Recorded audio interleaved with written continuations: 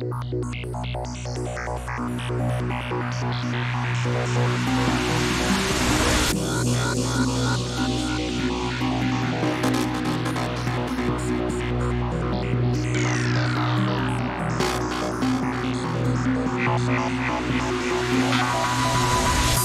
thing that causes religion is class.